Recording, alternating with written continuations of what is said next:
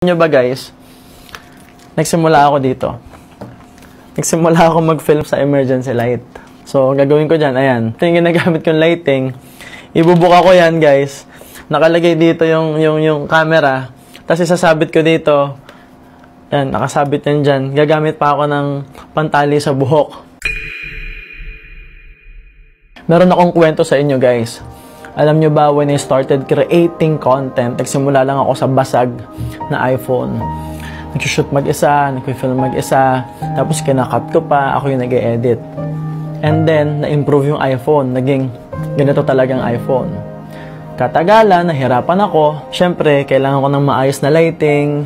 Nagkaroon tayo ng camera. Itong Lumix na G85. So, started here. Ginagawa natin guys, ilalagyan ko ng stand. Tapos, nahihirapan ako mag-create ng content, ilalagay ko yan dyan. Tapos, pag meron akong training, every Mondays and Fridays, finifilm ko yon buo. Tapos, ikakat ko yon guys. And imagine, since sa Facebook, sa TikTok nakatayo yung video and palapad, pa-landscape siya, film, kailangan ko siyang i-edit frame by frame para maigit na ako. Eh imagine guys, napakalikot ko.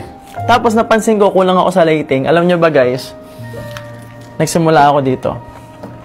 Nagsimula ako mag-film sa emergency light. So, gagawin ko dyan, ayan. Ito yung ginagamit kong lighting. Ibubuka ko yan, guys. Nakalagay dito yung, yung, yung camera. Tapos isasabit ko dito. Yan, nakasabit yan dyan. Gagamit pa ako ng pantali sa buhok. Can you guys imagine? Ganun yung simula ako, guys. Kaya ang tip ko sa inyo, kung nagsisimula pa lang kayo, tuloy-tuloy lang. And you have to have the humility to start. Huwag kayo matakot magsimula. Ako nga eh. Nagsimula lang sa ganito. And then later on, na-improve yung lighting natin. Naging ganito. Tapos lumaki yung media team. Nagkaroon ako ng videographer, editor na si Johan. And ang nangyari, itong cellphone ko, duma ko tong cellphone. Kanya na to ngayon. At yung cellphone ko yung gamit na pang film ngayon. And guys, imagine, from something small, from isang follower, dumami. Lagi ko nga sinasabi na lahat ng marami nagsisimula sa isa. Na lahat ng malaki nagsisimula sa maliit. Ngayon guys, ito na yung gamit nating lighting. Naka-light dome tayo, imagine. Dati guys, ang ginagamit kong laptop, this one, tapos, sira pa yan, no? Open natin. Pakita natin sa kanila. Ayan, no? Kita nyo, basag yung screen yan, sira yan.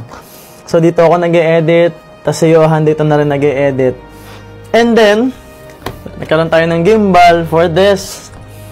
Tapos, yan yung stand natin na ipakita ko na sa inyo. And then, guys, lumaki yung media team.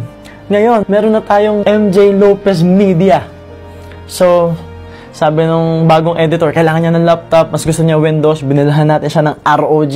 Nasa around 95,000. Siyempre, ginagamit na ni Johan, common laptop to ng creative team. Ito na yung laptop ko, M1. Actually, nasa anong 200,000. Kanina lang, nag-shopping tayo ng lens. Sigma for this. Ito, naka-Sigma rin yung bago nating camera. Ito, ito na yung ginagamit natin ngayon. Kung mapapansin nyo yung mga videos natin, dalawa hanggang tatlong angulo na kasi meron na tayong team na nagtutulong-tulong.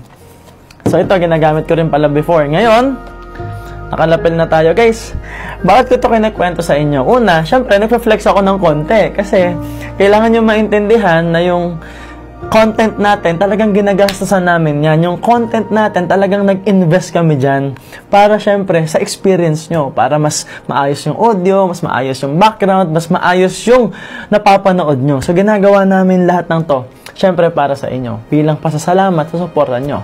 So ngayon, magkakaroon tayo ng event sa City of Dreams, Manila, guys. Kaya nagpa-prepare tayo, no? meron tayong dito, ang laki. Grabe, di ko alam kung ano tawag nila dito, pero napakalaking tripod. Tapos, meron tayong bagong-bagong screen. So, gimbal natin to. Syempre, since ito, Ronin, hindi niya kaya yung weight nung nito. Kasi ang bigat nito, guys, oh. Ang bigat nito, ang laki pa ng lens niya bumili tayo ng bago. So, ito na yon. Ayan. Unbox natin. Nice. Ganda, may lalagyan. So, pakita natin sa audience yung ating bagong-bagong tools at equipment. Nice, guys. So, para to sa experience nyo guys. So, ang akin lang guys, ah, sa mga negosyante, mag-invest kayo sa marketing. Sa mga aspiring content creator guys, tuloy-tuloy lang. Ako, nagsimula lang din sa mano-manong pagka-create ng content. Ngayon, meron ng MJ Lopez Media. Tuloy-tuloy lang guys. See you soon. Grabe, ang ganda.